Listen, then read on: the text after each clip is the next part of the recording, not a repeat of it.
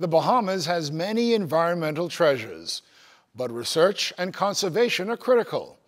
So we're going to tell you a little bit more about that and share the experiences of some young people in this edition of The Reid Factor.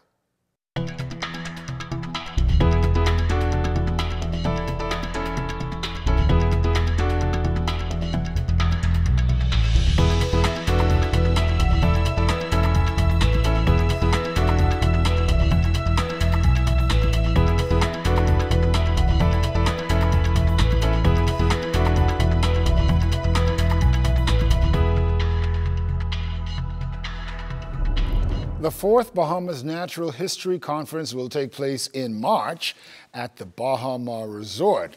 Now, the theme for it will be Pathways to Conservation. And we're going to tell you why conservation and research is so critical. To help me do that, we have Shelley Cant Woodside, who is Director of Science and Policy at the Bahamas National Trust, and Vanessa Haley Benjamin, the Chief Scientist at Baha Mar. Welcome. Thank you. It's great. Now, uh, very exciting time. This is the fourth one, but um, a little bit different this time. What's going to be the um, uh, focus of this one, um, Pathways to Conservation? Yeah, well, the theme this year is Pathways to Conservation. So, understanding that to achieve true conservation, it actually takes many things to happen. Not only do we need to have the right research in place, but it has to also inform policy. Also, we need to have the human population also um, considered as a part of it. So the whole theme of the conference is trying to bring together all these different players um, to help start that dialogue about how do we actually get conservation in the Bahamas. We need to, you know, um, educate the people. We know that. That's a very important aspect. We need to also educate the, the policymakers and have them come on board as well as do the correct research so we know what we're doing. And it's going to be held at Baha Mar. Yes, and, and, this is really a big step forward, right? We have another major resort, um, but also embracing the need to um, have real conservation and to get involved in research. Exactly. That's why I love the theme that it's being held on because Baha Mar and the Baha Mar Foundation playing such a major role in it. That's critical. I mean, in addition to researchers and conservationists, you need private sector. So naturally so, with conservation being one of our main pillars, I was right on board for Baha Mar to support it and be a significant um, um, partner in this conference. Uh, while we're talking about Baha Mar, though, and this aspect of it, um, because uh, course, a lot of young people now are looking towards the environment as a means of making a living, right? Um, um, to be professionals in the environmental world. Um, how big are you starting off at, at Baha Mar? How, how big is your team? And how big do you see it growing in the years to come? Well, the, the, the industry has certainly changed. The tides um, pun intended, has changed when it comes to marine biologists and students in the conservation field. Um, looking back, you would never thought that you would have such a senior position at a resort and conservation and environment and research playing such a significant role. So our team consists of animal husbandry specialists, our team consists of person that helps the foundation. Our team consists of aviarists. We will have birds. So it's, it's a very exciting time at the resort to promote conservation. Well, I can imagine. Mm -hmm. Now, um, of course, the first one was held in 2013. Correct. Right? Um, how much success have we had since then? Um, how effective have we been? well, then? the conference has been growing. It was a huge success then, um, and it really established itself as being quite a world class conference.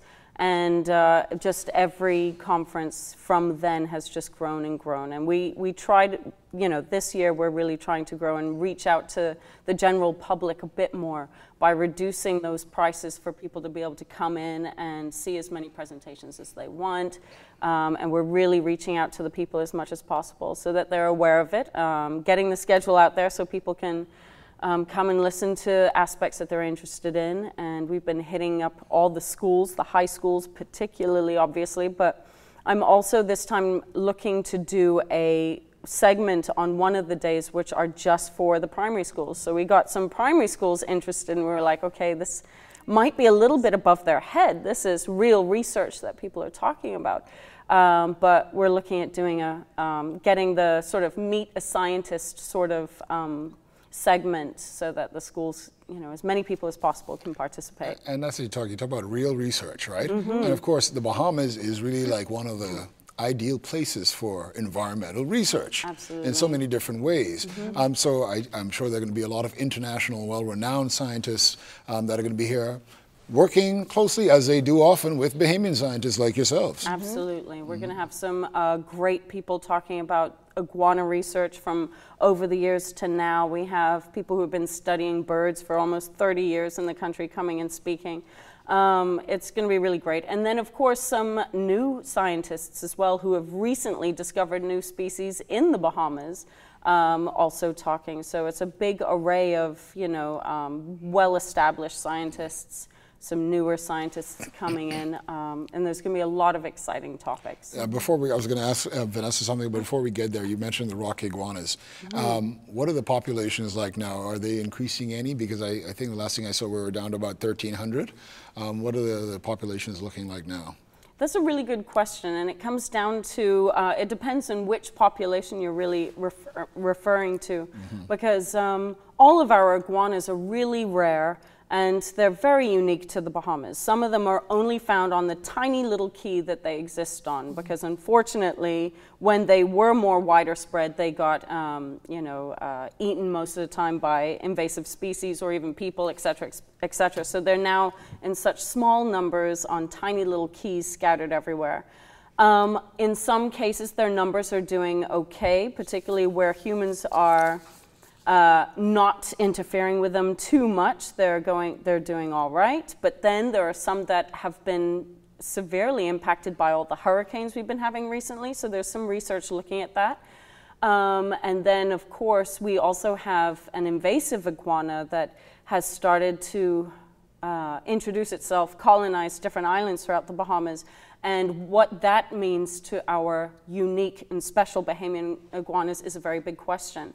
So we do have some scientists coming talking about that issue particularly. Mm-hmm. One of the big themes that people are talking about also is climate change and how is climate change actually impacting all these species. So there's going to be a talk on that and the iguanas. There's a lot of people are talking about climate change. Like I say, they'll be um, on the Bahama parrots and many other such unique um, Bahamian species. Conch? Mm-hmm. Absolutely. Conch is a massive uh, focus point. And, and, and, I'm glad you brought that up because um, uh, BNT in Japan, right, the Bahamas mm-hmm. government in Japan have just signed a major agreement regarding conservation. Huh? Exactly. That's correct. We're mm. very fortunate that um, we've been successful with that proposal, and that's going to be a community-based um, managed project. But um, we also have, as part of this conference, a conch clinic, we're mm-hmm. calling it, we're going to have people presenting on what they're working with in regards to conch. Exactly. Everyone's doing slightly different things, so we're bringing everyone up mm-hmm. to speed with a quick little talk. Um, and then we're going to sit together, put our heads together, and come up with what are those key things that we're going to ask the government to change in terms of policy, and then that will be drafted into a white paper going forward. But uh, Vanessa herself is going to be talking about conch, aren't you? Yeah, That's so great. not only are we sponsoring, we're also presenting. Uh-huh. So I'll be pushing the envelope a little bit. I am getting my PhD as well while working at Baha-Mar, and um, we're looking at presenting on the conch ranching as an alternative livelihood to fishing.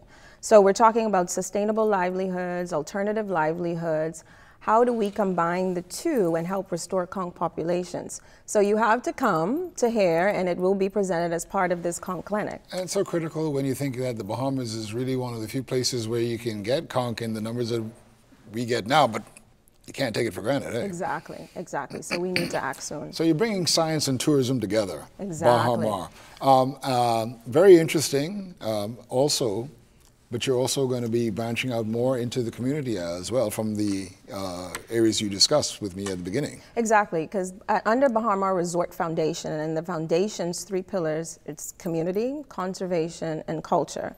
So we incorporate that in everything we do. Um, we are a significant supporter of Bahamas National Trust, not just this conference, but beyond with their educational programs and we're really doing things in the community as well.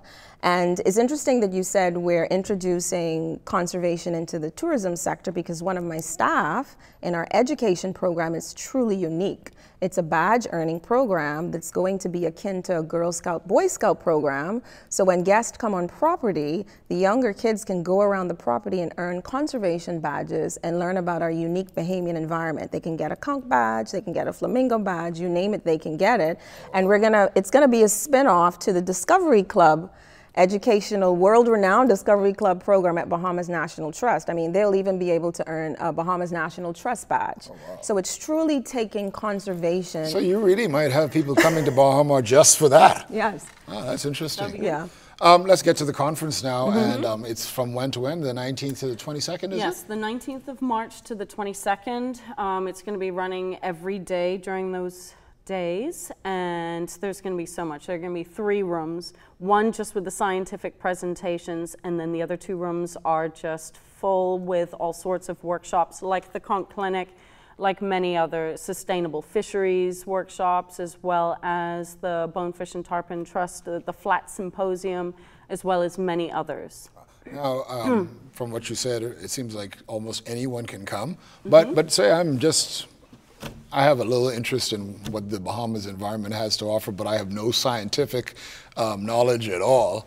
Um, what is there to offer from the conference that won't get me so overwhelmed, but, but, but still will get me um, uh, very interested and um, uh, excited about our environment? Well, I really think that people should at least come out and give it a try because uh, a lot of the time on social media, I often see people sharing things and saying, why aren't we doing this in the Bahamas?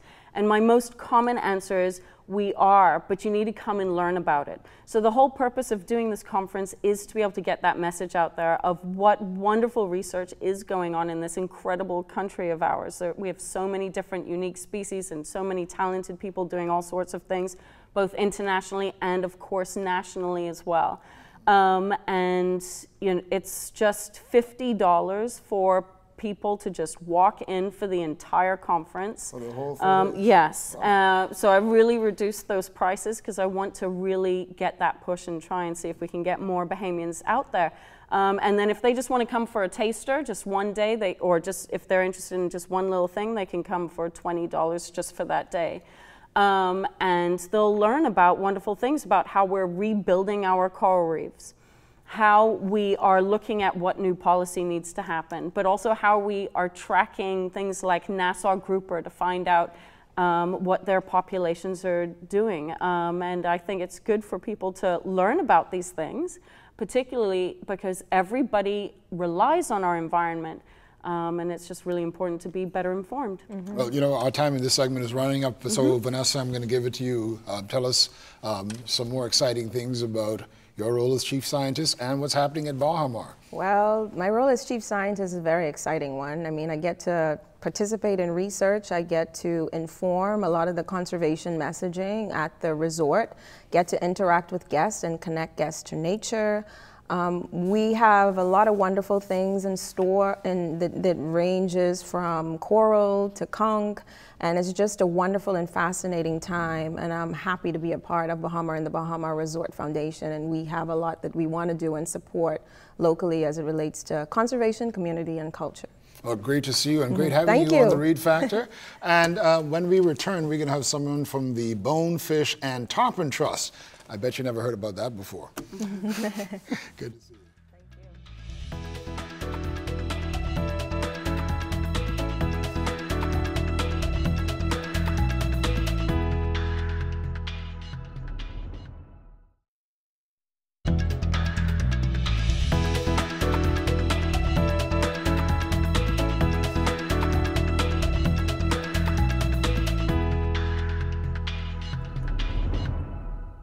Welcome back. Shelley Cant Woodside of BNT is still with us, but joining us now is Justin Lewis, who is the Bahamas Initiative Manager of the Bonefish and Tarpon Trust. Welcome. Thank you. First of all, explain to um, those who may not know what the Bonefish and Tarpon Trust is.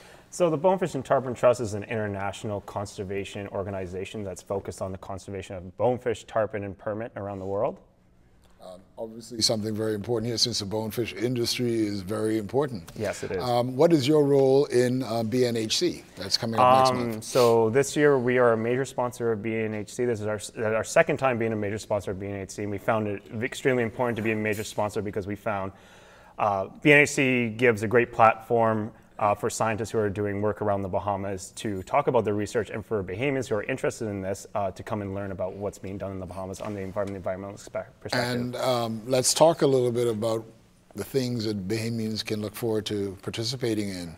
Shelley? Sure. Um, there's going to be so many great talks, um, as usual, you know, and I'm excited about all of them. So it's difficult to pull out a couple, but um, we do have, you know, the Bahamian government is going to be, the forestry unit is going to be talking about the Bahamas Seed Bank, what they're planning to do with that. So, you know, most countries have a seed bank, and they're talking about how the Bahamas is going to shape up in terms of that. Um, we do believe that there's a gentleman who's going to be talking about a newly, a recently newly discovered species of snake again in the Bahamas. So that's going to be very exciting. two new snakes in, uh, yes, species in a year? Exactly. In the yeah, in the past couple of years. Um, there's someone who's going to be talking about a, a species of insect that was discovered in Eleuthera. Um, we have someone talking about land crab research. Are we eating too much land crab? We don't know, but we need people researching it, and um, it'll be very interesting to hear her research on that.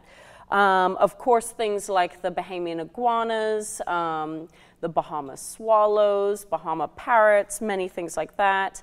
Um, uh, there's tons of great research out there. I, I have to ask this, since we're talking about all these wonderful things that are happening, and of course bonefish and tarpon being major um, uh, tourist attractions, but also very important to Bahamians as well, um, when you put it all together, how important is the Bahamas environmentally in the whole scheme of things?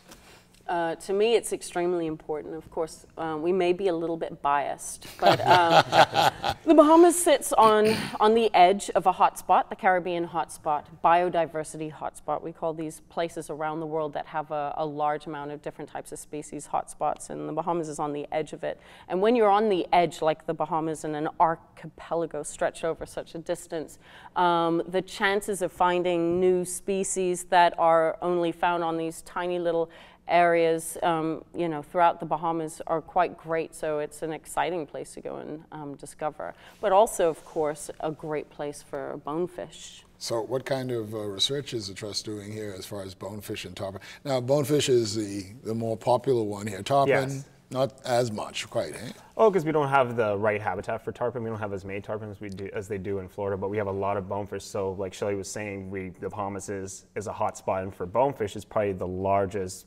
habitat for bonefish in the world. That's why we have so many. That's why it's so well known for bonefishing around the world. And so, some of the research projects we got going on is we're trying to identify, overall, just identify as many key bonefish habitat areas as possible. For example, spawning sites. If you don't have the spawning sites, you don't get new ones coming into the system uh, bonefish juvenile habitat, um, their home ranges, and then we've also been looking at larval transport. So once they spawn, where are they taken to?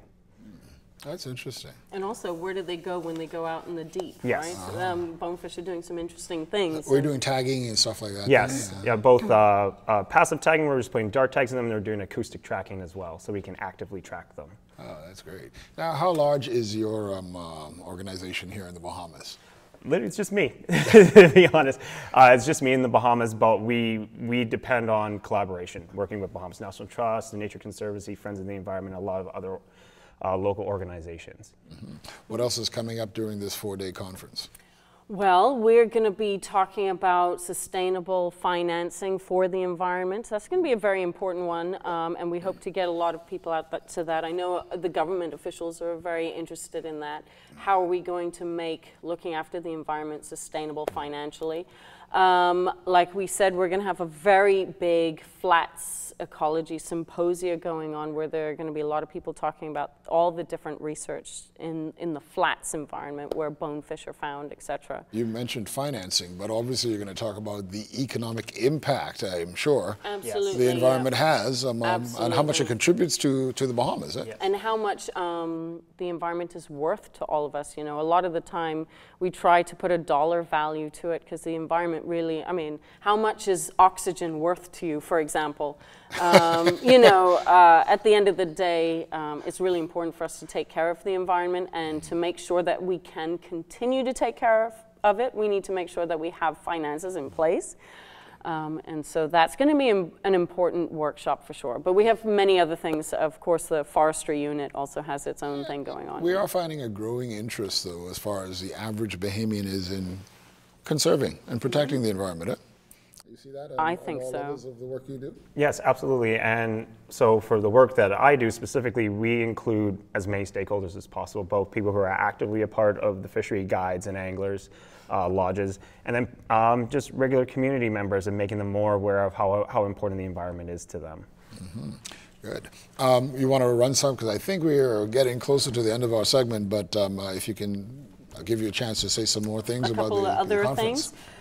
So we also have, of course, the very popular student series um, coming back by popular demand. So that's where University of the Bahamas students get to present their research that they're being that, that they've been doing, and we have some prizes for them. So we've had some great sponsors who've come forward saying we want to reward those students particularly. Mm-hmm. So uh, we're going to have some students doing that. We have students, international students, well, Bahamians studying away, coming in to give their research. You know, wow. some master's students, etc. That's always really great to see Bahamians not just going away and doing great things, but remembering their country, coming back to us and helping to spread what they have learned. Um, we have so many different topics. Fisheries, we have, it's a, a, day and a half that we dedicate to fisheries.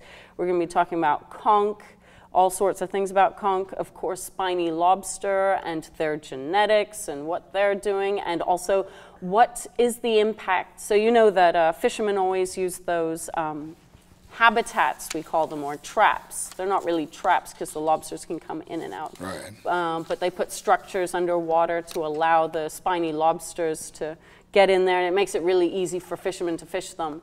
Um, does that have an impact, negative or positive, on the fishery? Questions like that are some of the, the things that are going to be discussed at this conference. Now, Justin, um, with um, uh, bonefish, it's catch and release, right? Yes, it's, it's primarily a catch and release fishery. Mm-hmm. Yes. Um, what what other um, uh, aspects of the bonefish industry can you tell us that people might not know? Um, well, it's a, being a catch and release fishery is a sustainable resource. That's why it's really important to um, um, protect it. But then also there's the issue nowadays of there's not many people coming into the fishery uh, participating in it, especially working at, at the guide level. Uh, most of the guides are, are a lot older, 35 and up. There's very few guides under the age of 30 coming in, coming in, and so that's it's becoming a, a, a dying profession, yeah, unfortunately. Um, uh, and how much skill is required? Obviously, it takes quite there, a bit. It, it, take, it takes a while. I'd say um, it takes at least three years to become a decent guide.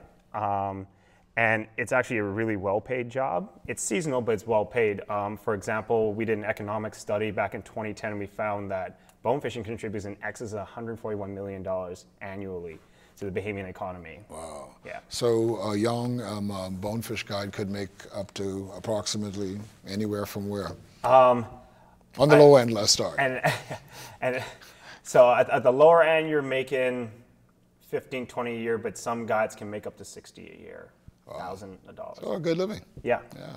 Great. Now, um, we were talking about these wonderful little seahorses that you find mm-hmm. in Sweeting's Key. I thought that you'd bring that up. Um, Sweeting's Pond. Sweeting's Pond, rather. Sweeting's Key is in Abaco, right? Yeah, sorry. Sweeting's Pond in Eleuthera. Mm-hmm. Um, they're really um, quite a marvel, aren't they? They are. They're very unique and very special. So that's obviously a pond that um, used to be connected to the sea, and for whatever reason, it's now been closed off for quite some time. And all the organisms that are in there. There's a lot of sea creatures in there, an octopus, for example, but they've been separated from the sea for so long that they uh, are on their own path, adapting to this unique environment, being detached from the, the sea. So it's all sort of like, uh, I don't know, maybe osmosis is the wrong word, right, from um, through the, the, limestone? There's probably some connection. Because they say that the tide um, lowers and, um, mm-hmm. and rises as well? Well, you know, we are a limestone nation. So limestone, I always tell students, think of it like Swiss cheese. It's got a lot of holes in it. So um, there'll be tiny little holes that the water is able to go in and out. Um, Sweeting's Key is really in Grand Bahama, Grand Bahama, right? Why, do- yeah. Yeah. Why you didn't correct me? You're from Grand Bahama. I was waiting for a Grand Bahama boy. Go ahead, please. But the, uh, you know, what makes that pond really unique are the, f- the fact that there are so many seahorses in there. And the seahorses definitely look quite different from their um, closest relatives in the um, ocean, and they're trying to work out how different they really are. And also looking at the differences, so ones on one side of the pond actually are starting to become quite different from the ones on the other. And this little micro environment difference uh, that's going on there, it's just really exciting. Um, and that will be eventually a really big tourism attraction, but we do How- need how to how do learn about it. view that now without actually disturbing that ecosystem? I mean, how, How do do you, they learn yeah, about it? Yeah, I mean, no. How do they view it? How do they- Um, for example, if I went to the pond, um, can I actually get into the pond in a, in a boat, or, or is that too disruptive? No, I mean, people are. Um, you can see it, un- unfortunately, on a lot of online things. We are a little concerned, basically, is what I'm getting at, because it's not. Um, it has nobody protecting it right now, but the Bahamas National Trust is looking at including that in the next expansion of protected areas very soon. Um, so we're hoping to be able to give it some form of management and some sort of control. At least, like if you're going to go in and see them, please do this and don't do that. But to be honest, we still have a lot to learn about those really incredible creatures before we could even inform such a plan. Justin, if you give me um, your final words before we end this segment, please. Um, everybody, they should come out to BNHC, um, especially on March the 20th, which is the, the flat sessions. There's going to be uh, 15 pre- presentations about the flats, focus on bonefish, conch, uh, piping plovers, mangroves, everything that, that has to do with the flats. So if you're interested in it, come out and, and check it out. Uh, and that's only fifty dollars. Yes, for the whole conference, Right, just and it's running $50. from what time in the morning till when? Basically, pretty much from nine until about five. Some of them are going Daily? a bit later, almost to the six o'clock, but I'm trying to keep it within that sort of time. Wow, sounds really exciting. Wish you the best. I hope it's better than before. And I think I'm going to have to get myself there too. Well, hope Shelley so. Cant and Justin Lewis, thank you both Thank for you being so on the. Reid Factor. Thank you. Um, and um, really learn a little bit more about your country. Go to BNHC. After the break, we're going to give you the experiences of some young environmentalists. Stay with us.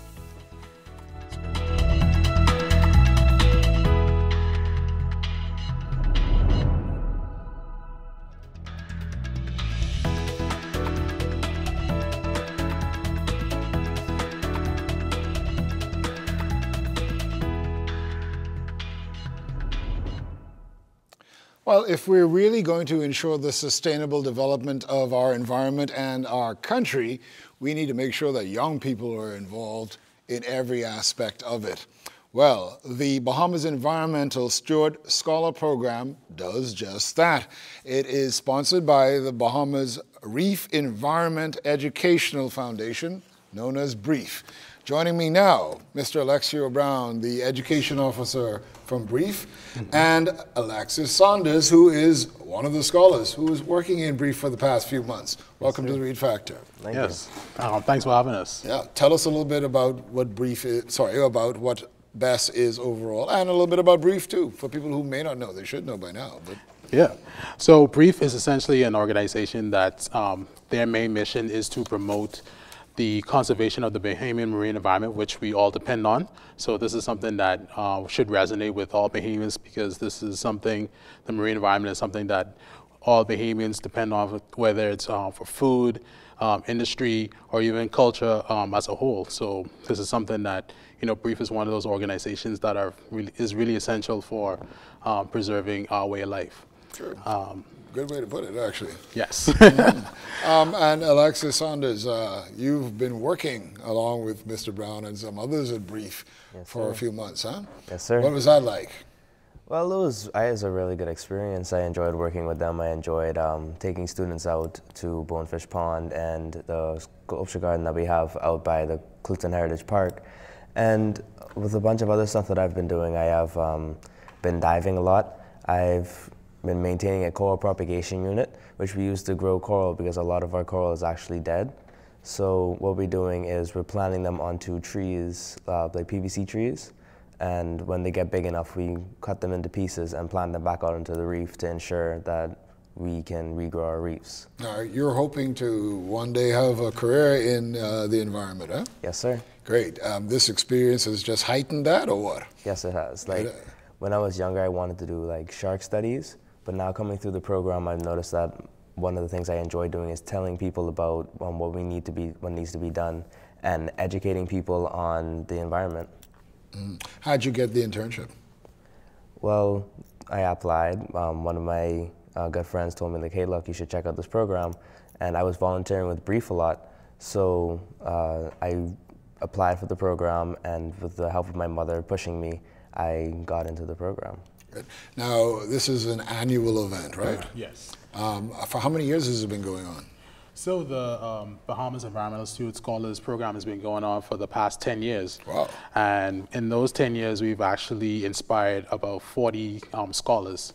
So it's, it has really made a great impact on on some of the youth in the country, um, as we know. Mm-hmm.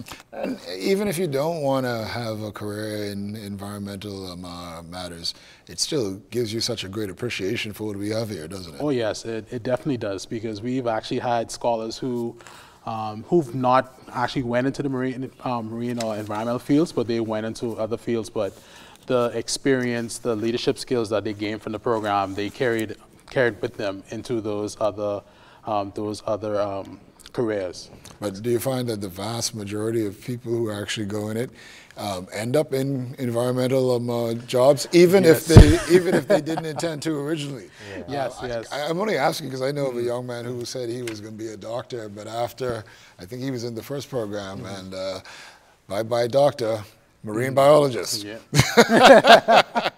well, I tell you, it's like once you get the taste of the marine environment, that's it. Like uh, sometimes you just, you know, you just get totally sucked in. What's been the most special um, uh, aspect of the past four months for you? Now, of course, you, are getting ready to do another aspect of it. Yeah. What's been the most special aspect so far, other than taking kids out and uh, and the diving, etc.? Well, I did a turtle tagging field trip where I sorry what turtle tagging turtle field tagging. research. Yes. Wow, where did that take place? Uh, in Spanish Wells. Okay. So we lived out on the boat for about two, going on three weeks, and every day we would go out on a little speedboat and go out and try to catch turtles. And during that time, we caught about 61. Wow. Wow. Wow. Yep. And, that's amazing, really, seeing them in their own environment. I've yeah. had that, that, that good fortune, too, to just see a, a, turtle come up when you're out in the middle of the water. And it really is exciting, isn't it? Yeah, it is. Mm-hmm. Um, did any work with dolphins? Um, not really any work with dolphins. I got an internship with Atlantis and their water features, and I got to stay at Dolphin Cay for a day.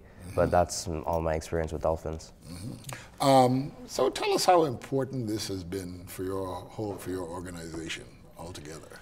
Yeah, so this is a program that um, that BREEF has been in collaboration with the um, the Island School for about 10 years. So this is something that BREEF really saw was essential for raising the next generation of environmentally conscious um, citizens in the Bahamas. So this is something that we really see that uh, we want to continue into the future, and something that we really um, expect a lot, a lot more, um, a lot more productivity and a lot more um, environmental um, causes being pushed from from the scholars it's in got the program. got to be a great way to recruit people too, uh, for yeah. the future. I believe Alexis wants a full-time job there now. um, but you mentioned the island school because there, there is a two-part, um, um, two parts to the program, right? right. Um, going through um, uh, with with with BREEF. Mm -hmm. And then, um, uh, of course, going to the island school, mm -hmm. which is where you head to next, right? Yes, sir. when do you start that? I leave on March 4th. On March 4th, great. That's, and for people that don't know where the island school is, it's in Cape Eleuthera, right? Yes, sir. Um, and there are two people who are going, you and who else? And Christina Pyfrom. Great. Um, you both want to be um, uh, environmentalists? Yes. Mm -hmm. Different aspects? You, are you, well, are you sure what you want to do yet? I'm sure, sure, what I want to do. I'm not what sure do you what she do? does. Um, educate people. Like I want to ensure that they know what's happening in our environment, and so that they can spread the word and hopefully help me help the Bahamas. Oh, that's great. That's great. What's Christina thinking of? Do you know? I do not know. Not sure. Not sure. Um, uh, so um, let's ask this now. You said you had about 40 people go through, mm -hmm. right? Um, and even if they're not environmentalists now, mm -hmm. do they come and give back to BREEF? Yes, so we do have some of the alumni that actually help out with the programs and also with Like the other volunteers. right as volunteers and also with other um, environmental organizations as well.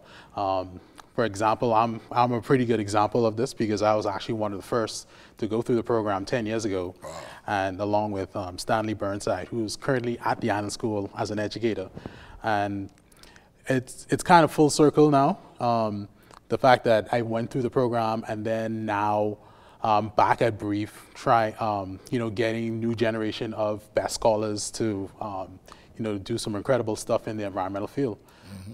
Um, from the from the program, I've been able to get a lot of opportunities to work on the, the marine environment um, projects all around the um, all around the Bahamas, such as um, coastal ecology uh, with the University of Miami. Also um, was involved in the um, the project called the Khalid bin Sultan um, Global Reef Expedition. Um, so things like that. So going through this program like really opened the doors for me in terms of um, going into the environmental field. And it's an international exposure too, huh? Yes, definitely, and it looks really good on a resume, I must say. Uh-huh. Now, um, I know that your colleague, who's going to come up with us in a few minutes, is just finishing the island school part, right? And you've, I'm sure you've spoken to him about what you might expect. Yeah. Um, what are you most excited about from what he's told you? Um, well, I'm excited for the four mile swim. Um, going to the island school, you either do a 13 mile run or a four mile swim. And I've been swimming most of my life. Okay. So I want to like try break one of the records that they have. I hear that. Now, I'm a swimmer too, not a not a long distance swimmer. I used to do some uh, marathons years ago, but uh, but anyway, um, what um, uh, and this is for both of you because you're, you're still really young people. What would you like to see going forward for um, the way we um, approach uh, the environment and what we want to do for the environment? What do you think? Um, let's say if you could give me your top two um, uh, priorities for the environment moving forward. We'll start with you, Mr. Brown. I think one of the first things that I actually want to see uh, moving forward is getting the public more involved and engrossed in the environmental um, issues that we have so that we get more public buy-in and also um, inform the public of what's actually going on because um, most times a lot of people don't really um, realize the, either the significance or the intricacies of some of the um, some of the problems that we have in the Bahamas. So I would love to see a lot more um, involvement from the public, and I'd like and also like to see more data-driven um, policy um, decision making. So a lot of a lot of times uh, we have a, a deficiency in data in terms of um, when we make decisions, um, say in terms of um, creating new developments or going through with certain um, certain projects. So we would like to have more data so we can actually make more informed decisions that would um, benefit everyone. Mrs. Saunders? Uh, well, I'd like to see like more recycling and less garbage on our streets. Um, it does look really bad. There's a bunch of like garbage. And that's something everybody could help out with. Yeah, everyone can help out with that. I'd like to see like recycling plants and like it, it would bring a lot of revenue and more, more jobs in as well. Uh, you- and you know, it shocks me how really, really way behind we are when it comes to recycling. Yeah, we It's are. scary. I found out something really scary. Yep. Yeah. And I'd also like to like put the Bahamas on like a renewable energy grid Mm. instead of just having um, burning oil and p- putting emissions out into the into the ozone layer. Mm-hmm. I'd like to use like solar energy, wind energy, maybe some um, some form of water energy, something like that, um, to help like reduce like paying bills in that kind of way, and also help the environment as well. Yeah, for sure. Um, now, I love the environment, but I'm not really good at science. How does that affect me being in the program from both of you?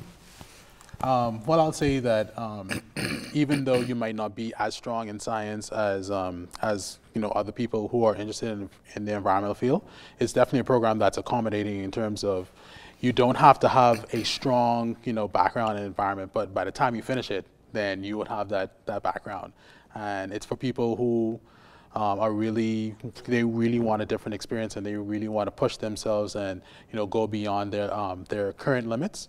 So I definitely encourage um, anybody who's interested in having a really unique experience to um, come through the program. And one last thing I would say is that a lot of people think you need to be able to swim or scuba dive to be in the program, which is not totally not necessary. We've had best scholars who actually came through the program, didn't know how to swim before. Um, we have one scholar, um, alumni, Andrika Burrows. She came came to the island school, didn't know how to swim at all. Uh, but by the time she was finished, she was able to do the four mile swim. And I actually had a chance because I was actually at the island school working as a teacher at the time. Um, and I had her for a research where we study blue holes, and we actually had her swimming in a blue hole. Oh, wow. So, you know, it's one thing to you know have people swim in the, in the ocean, but you know, blue holes have this whole thing, you know, superstition and all that. So, you know, if you, if you really want to grow and and see yourself improve as a leader, you need to come to this program. Talk about the leadership aspect for you. What, how it's made you a better leader. We got um, a little, just a minute to go.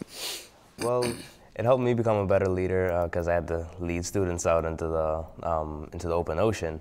They if they don't uh, listen to me, then it's not going to work. So I showed them that I wanted to step up and look, this is what needs to be done, and if you don't do it, then you have to sit back on land. So if they didn't listen, I'd have to give them a little bit of punishment. But what would you tell students who want to apply? Um, I tell them don't hesitate. Like just jump right into it. Like there is no reason you should be hesitating to uh, come into the program. It's a really good experience. I enjoyed my four months day with BREEF, and I'm excited to go to the island school. And we wish you all the best in that. Thank you, Alexis. Yep, no problem. the Reid Factor. After the break, we're going to have his colleague who actually just finished his time at the island school. Stay with us.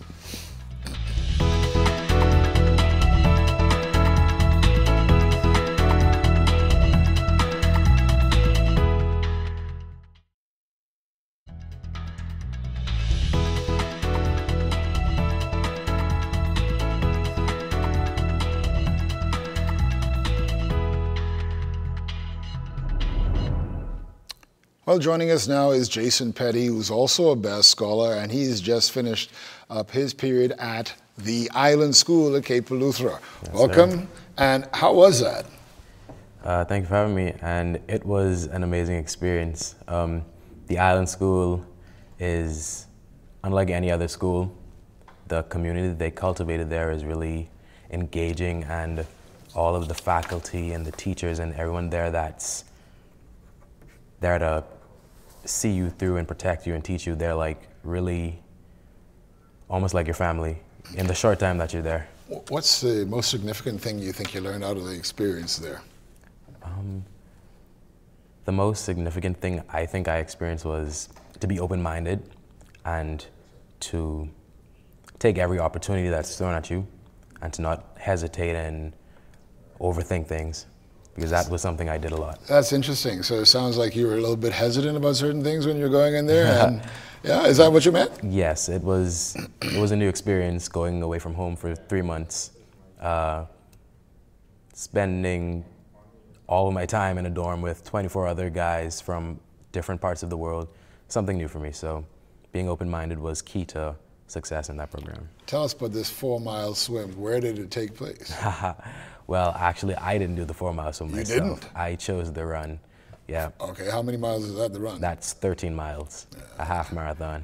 Yeah, I wouldn't have been doing that. um, uh, but let's get to you now. Um, uh, this is a gap year program, I think you were saying, right? Yes. So people who um, um finished high school mm -hmm. and um, may have an interest in the environment or not, but want to don't want to go away right away or don't want to go into UB um, right away. Mm -hmm this is an ideal program for it, huh? Yes, uh, most definitely, because um, yeah, it is a one-year mentorship program. So, like, um, we have Alexis talk about his intern, his paid internship at BREEF. Um, that's one thing we forgot to mention was the paid intern, the paid part. Oh, okay. So, so you get you get to save all of it. yeah. So you, so, um, you get um, you get money you know, while you're doing your internship, which is rare. Mm -hmm. And now you have the the other part, which is the Island School, um, and that um, pretty much makes up the, the core of the program.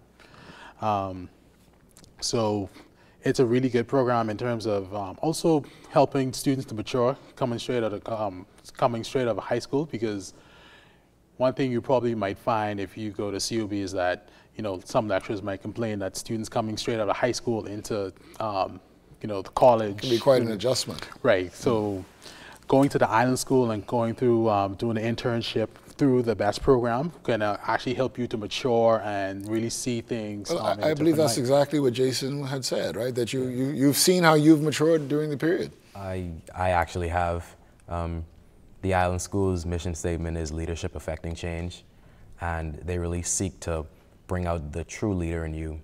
A lot of their classes are student led, so What do you do on a, like a daily basis? Give me an average um, uh, kind of day there. well, the rundown is uh, 6:15 is a wake up, and after that we get ready and we have something called circle, and we basically give reverence to the country that the Island School is hosted in. So we sing the national anthem um, in front of a flagpole, and we go through a whole host of classes during the day, whether it's marine ecology, your regular math or English, and 10:30 is lights out. And it might seem early, but, But- after a whole day like that, you will. You can't wait to go to sleep. bed. You're tired, you're exhausted. Um, yeah, that's interesting. Um, now, you want to have a career in the environment as well, huh? Yes, Now, did you always want to, or? I did actually. After going through a whole list of possible careers, I finally figured out that I wanted to be in the marine science field. And, and your experience at Island um, uh, School has strengthened that, that yes, desire? it basically cemented my desire to become a marine, become a marine ecologist. Oh, that's great. That's Yes, great.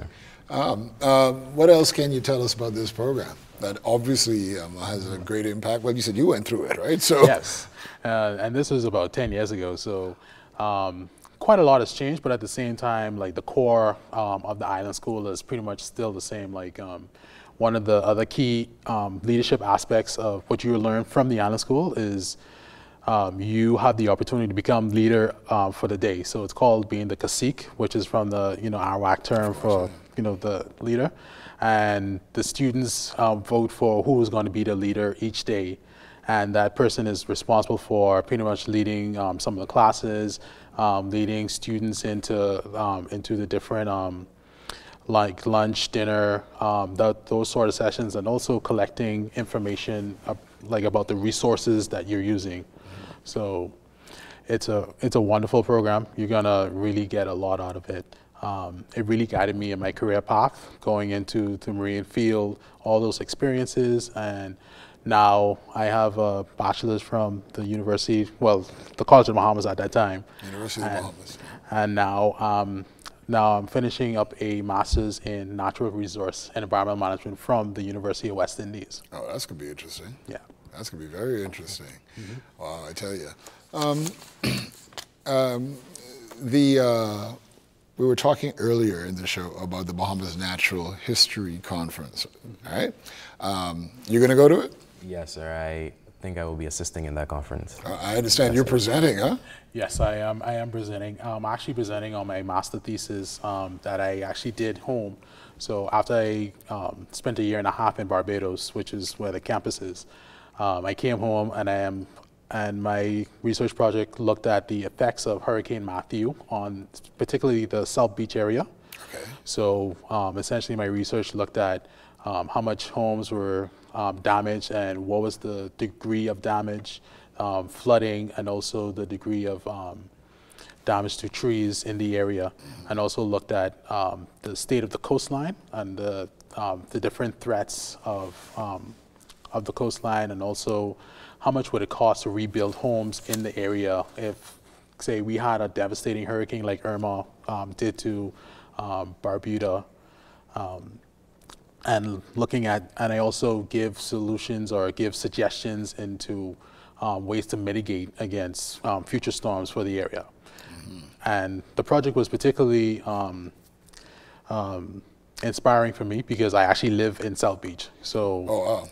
yeah, so um, it was really something. Um, it's like you know, this is a place It's where like I helping live. yourself, too. Right. you, know, you know, the thing is, you know what I want to talk about as well, because know, people say, you know, working in the environment, some people still don't get it, but there are endless opportunities for careers in the environment, eh? Um, uh, I, uh, even within marine biology or marine ecology, there's, there's several ones you can. You can be an environmental reporter. There's so many different opportunities out of the environment that really you can make good livings out of, huh? Yeah, right, exactly.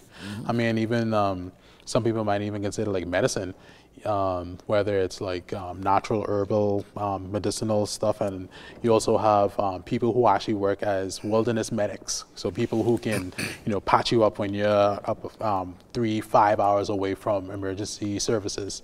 So there's a lot of um, different fields that you can branch into within um, within the environment. What do your friends say when you tell them about what you've done? Um, first of all, they can't believe that I went 100 days without my phone, which is a part of the island school. Oh, how did you manage with Yes. that? After the first week or two, you get used to miss it. You, you, did, you don't miss it, honestly. Obviously, it, it gives you a greater sense of discipline, huh? It, it does, as well as you get a chance to actually forge those bonds with the People. 50 other students from around the world um, that you will most likely be friends with after the island school, which I still um, communicate with friends from the island school because I didn't have my phone. Oh, that's really, really interesting. That's very important. That's Uh, very there's important. also no internet as well for for the students. So, yeah, so you're totally when you And when you go- didn't die, did you? No, you, no, you, you know, you, you ain't gonna kill you. So, um, you know, I went, and it's pretty much the same thing when I went there as well. Like, no, no phone, no internet, no junk food on campus. So, when you're there, like, you really get a sense of like this is what they um, call place-based learning. So you learn all about your surroundings and and for me, when I went through the program, I actually um, gained a better, um, a greater sense of pride of, in being Bahamian because back then, um, like for example, like Bahamian music, a lot of young kids won't, um, you know, they don't really gravitate to Bahamian music because they're- they're like, oh, you know, it, um, it's not, you know, like modern or mainstream. But when I went to the island school and, you know, these kids from all around the world and they heard it and they were like, yeah, I love this music, like, you know, I don't want to, you know, get away from it, digress too much, but that's probably what it is. When we see other people appreciating our culture, then we start to appreciate it ourselves. Yes, exactly. It should be the other way around, shouldn't it? Mm-hmm. Um, I just want to say one more thing to you before I come back to um, uh, Jason. But um, you said that min- natural resources and minerals was it? Did you did you mention um, um, for my- for your masters? Um, natural resource and environmental management. Okay, so And it was you, a you didn't, you didn't talk about focusing on mineral. uh, why- you- I, I guess you could imagine why I'm asking you that, right? Because Mm-hmm. right. everybody want to know about aragonite. When I get my right. Mm-hmm. aragonite, um, are you looking at um, doing studies in the aragonite in the Bahamas? Um, currently, no, but it's actually funny that you mentioned that because I actually did a paper um, for one of my classes on aragonite mining in the Bahamas. Okay. And it's pretty interesting what I found in terms of um, the history of it in the Bahamas and um, what the environmental impacts of it would, would be and what's currently going on right now. Very interesting. Look forward to seeing your thesis. Um, so, Jason, um, to wrap up for us, because we, we, we got going to just get a little bit from each of you, um, I want you to say whatever you want to say about your experience so far. Um, my experience has been one that I won't ever forget. It really impacted my life in multiple ways. I got over my fear of public speaking, which is something I wouldn't say I got over it, but I'm, I feel more comfortable about doing it now. Hey, you're doing quite well. Thank you very much. And um, again, it just cemented my love for the ocean and my love now for the environment as a whole. So I wish that the um, more schools would implement marine science into their curriculum. Wonderful. A final quick word from you, please, um, Alexio. Up. So for the best program, the Bahamas Environmental Stewards Program, it's a one-year mentorship for students who are graduating high school and are interested in the environment in terms of marine, um, outdoors, or just looking for a brand new experience. Um, you can come into the program. Um, unfortunately, the um, the application process is closed right now, but people who um, students who are in grade 11 and 10 um, keep Look this in for mind. 2019, huh? Right, 2019. And um, I would, so the eligibility requirements for the program is that students must have a um, 2.5 GPA or above, uh, must be between the ages of 15 to 18, and al- must also be either a Bahamian citizen, uh, a resident, or eligible for Bahamian citizenship. Great, wonderful. Listen, thank you so much for being Thank on the Reid you. Factor and sharing your experiences with us. And we'll be back with another edition of the Reid Factor next week.